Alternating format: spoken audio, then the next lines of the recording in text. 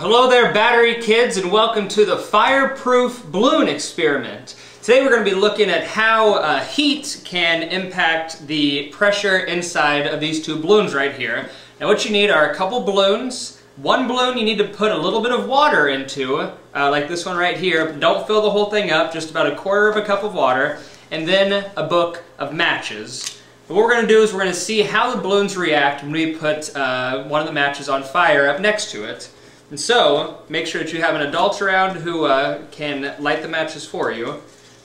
What you need to do is just take the match, light it, then when you put it next to the balloon with no water in it, you'll see that it pops. This is because once you put the heat up to the rubber, uh, the, the air pressure inside is so strong that when you weaken that one spot, the whole thing just gives way. Now we're going to test and see what happens if you put the flame up next to the balloon with some water inside. So I light the match, put it right underneath the balloon. You can see nothing is happening.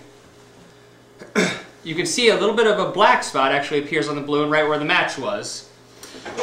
the reason that this happens is because in the balloon with no water in it, the fire actually just heats up the rubber and weakens it. But on this, when you have the water inside, the rubber doesn't actually get heated up, but the water inside does. And so the rubber can stay strong on the balloon and not give way or pop. And so, you know, you can try it out yourself, but like I said, just make sure that there is an adult there who can light the match for you. Uh, you just need to put a little bit of water in one balloon and then no water in the other. And so you can uh, see how it is. You can see how it works with the bigger or smaller balloons. But uh, yeah, just have some fun and see how it works. So I hope you enjoy this experiment and look forward to seeing you here next time on Battery Kids.